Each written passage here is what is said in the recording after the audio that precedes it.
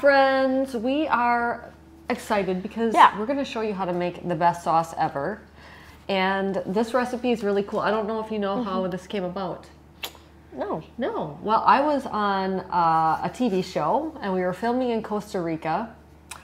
And I had to go to the grocery store and I don't know Spanish very well. Yeah. I was like, oh my goodness, I was buying stuff. And anyway, Redmond Real Salt was bringing the salt or donating the salt for the TV show, and it Yeah. never showed up. Customs kept it. So here I had to make dinner for everybody, and I didn't have any salt. And I was Yeah, like, that's a "Hmm, problem. It is a problem, right? So I did have bacon. And I was like, you know, if I make a really good sauce, we could probably figure something out. You Yeah. know, a good sauce with bacon, make it salty, you know, add some flavor. So I had bacon, onions, mushroom, and some beef broth. And I basically made a sauce. And it was really, really good. Do not turn away. This is that you love it, don't you? Yeah. Last night we were at dinner at the best steakhouse in Maui. If you come to Maui, do you know what it's called? Uh, Duo. duo. Yeah. Duo. It's at the Duo Four. Seasons. It's really good. It's pricey, but it's a special occasion. And we were there, and Kai's like, they should have the best sauce ever for the steaks. Yeah. This is good on eggs. It's good on steak. It's good on pork chops. I Mm-hmm. mean, what would you put it on? You like to eat it plain, and I make you put it on something. Uh, I like to eat it on like something maybe like something more like meaty. Like pork chop. Yeah, like a pork chop, maybe. Were you listening to me? Uh, yeah. Not really. Yeah. I just said a pork chop. Anyway, I'm gonna show you how to make it. It's good. It's only five ingredients. So Yeah. get your stove top ready. Let's go. Hey everyone, we are on a little safari here in Africa, and I got a little friend right behind me here, eating some uh, grass and some trees. He's not a Um, he's not a carnivore, uh, but if you are, it's great to keep your electrolytes up, and especially when you travel, if you keep your electrolytes up, uh, it really helps. I actually personally find I don't go number two as often if I don't bring my electrolytes on uh, along when I travel. I'll go two, three days without, but Element is great for travel. It's easy to pack. We really like it. And uh, if you use the, if you go to drinkelement.com, oh, watch out, slash Keto Maria, you can get a free sample pack with order. Um, so check it out, drinkelement.com slash Keto Maria, and get a free sample pack with any order.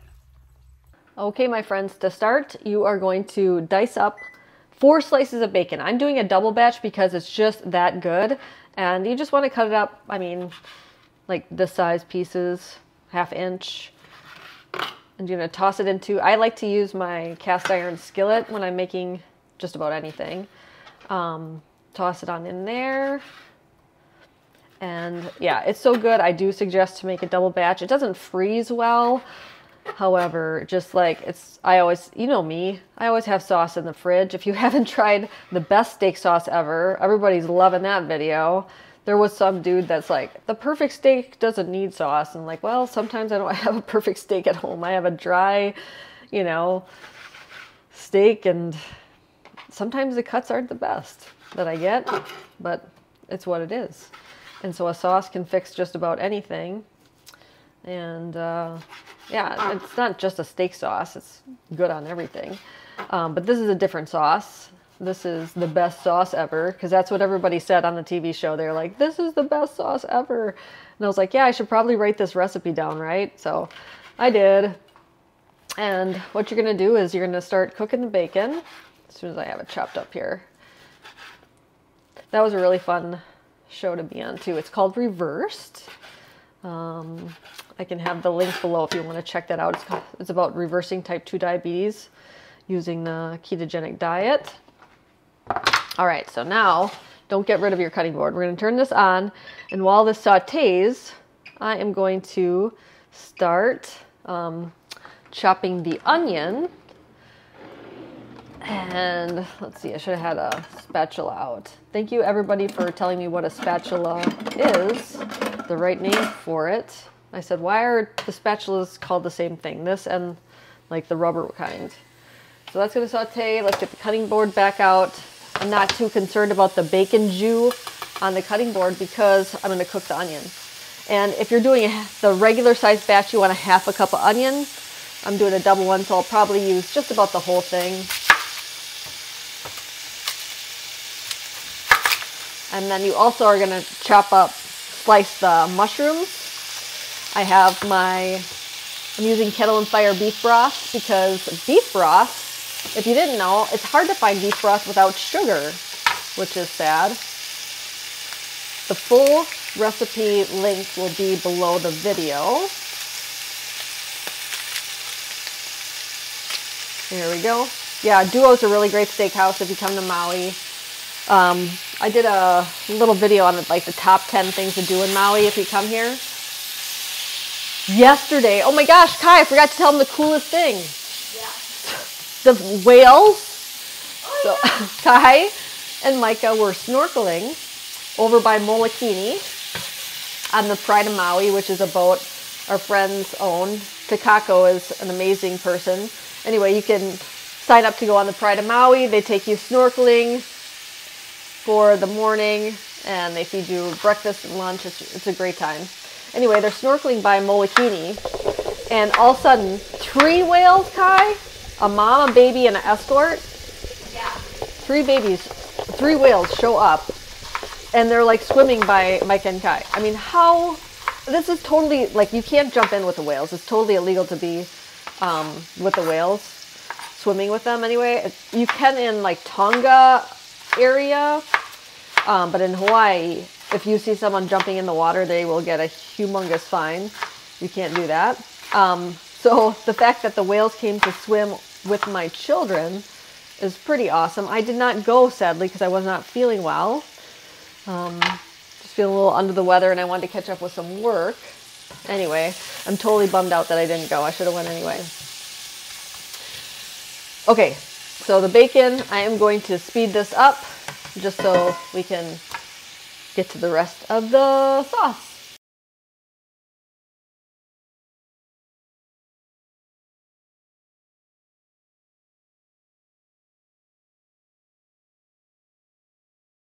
Cooked yet? It'll continue to cook with the onions, but I'm going to add a cup of onions. I probably have a little bit more than a cup, so we'll do about that much.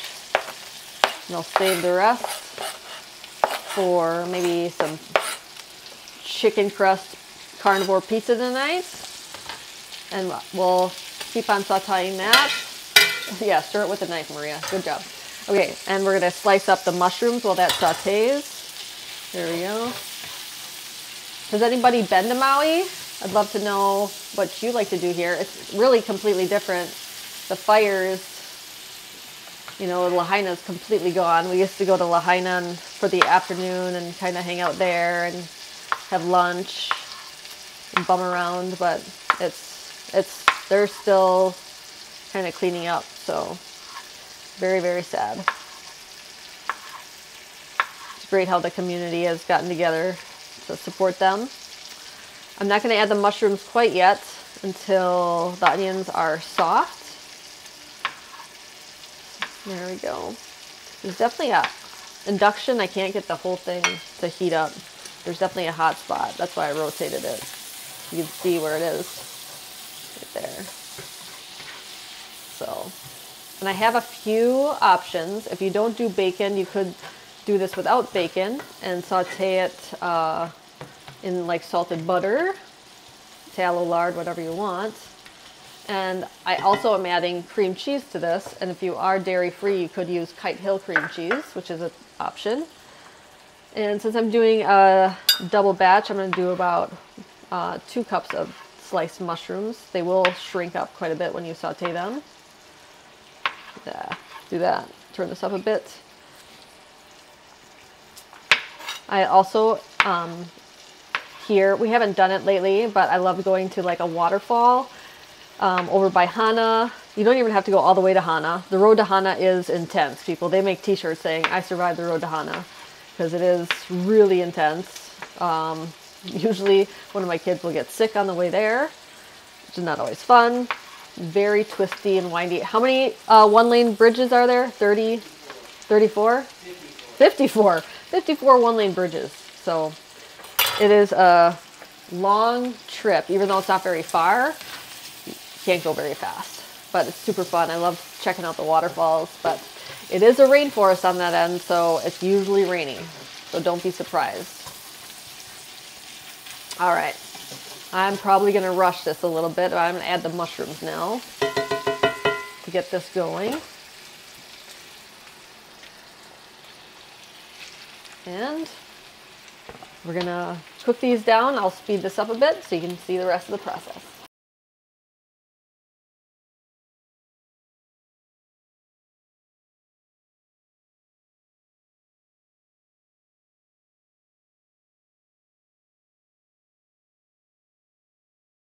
Okay, my friends, I should probably show you this. Now, if you get low in like bacon fat and you can see things are starting to stick, you can see this wonderful brown bits on the bottom. This is what I do. I take the, some of the broth, deglaze that pan, and you kind of scrape up that yummy goodness, the flavor in there. So now that everything's really cooked down, the onions and mushrooms are super soft, I'm going to add since I'm doing a double batch, eight ounces of cream cheese, ideally softened if you can soften it room temperature. This kind of cold, but it's all right. It will warm up. And don't add the broth yet. You want to loosen the cream cheese, otherwise you're going to have chunks. Okay, it's a little tricky that way. So I always have about 100 whisks. I love a whisk. And you just kind of want to loosen that cream cheese, break it up. And if it's cold like this, it'll be a little bit harder, but it's fine. It still works, no biggie. And then since I used quite a bit of the broth, I'm gonna have to add more. I'm gonna want about a cup, but you could slowly add it to see how thin you want it. You can make it thicker or thinner if you wanna use it as more like a, a salad dressing or something like that. It will thicken up a lot in the fridge overnight where you might have to add more broth, which is totally okay.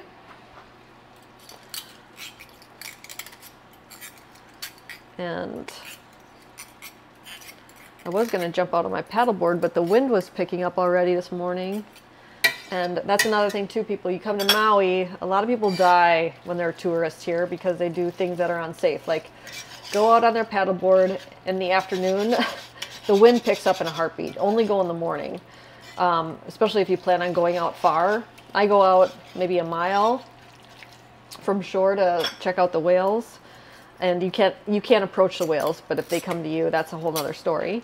Um, but don't go out in the afternoon. Like people get taken by the wind, and sadly never get found in the ocean. Be careful.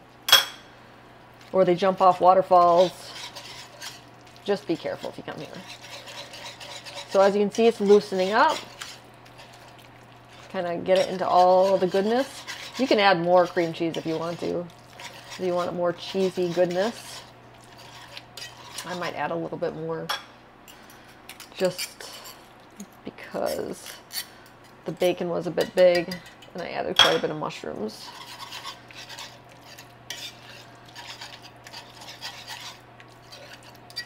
But then you're going to add, yeah, it's pretty much loose, the broth. Gonna add a little bit at a time, whisk it in. Probably turn the heat up a little bit here. And then if it needs some salt, you can certainly add salt if you want to. But again, I didn't have salt on the show. It was just the first day I was out without salt, so that was a good thing. But I had to be pretty inventive with all the things that I made. But it worked. See? And this, see, uh, it will get so thick in the fridge overnight, but just be aware of that. When you warm it up, it'll thin out a little bit and you can always add more broth. But this is how you make the best sauce ever. Let's go see what Kai thinks of it. Okay, so today is uh, day two of our, pro, our our ultimate weight loss challenge. This would not be on it. Sorry, my friends, but I just am trying to tell you it's a very busy day. We have a lot of meetings, Yeah. and so I just think some of you maybe comment below if you like my like cooking tips and tricks. This is one of them. I'll, I'll give them more if you want me to.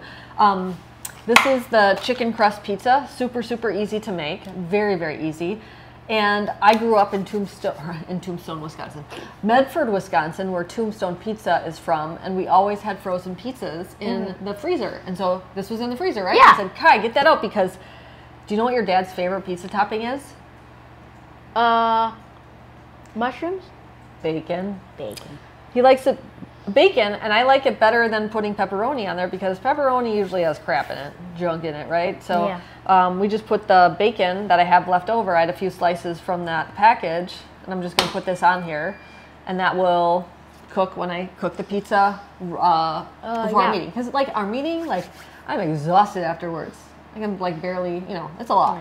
We have the ultimate weight loss meeting for an hour, and then we have our platinum member meeting um, where you see Craig and I, and we answer all of your questions. And then we also have our certified keto coaching program after that. So it's a lot, Yeah, and I'm usually hungry afterwards, and we're tired, ready for bed. So pizza, easy, keep it in the freezer.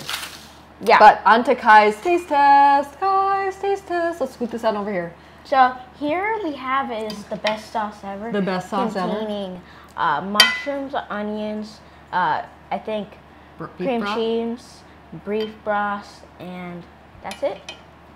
Okay, let's see what you think. Kai's bacon.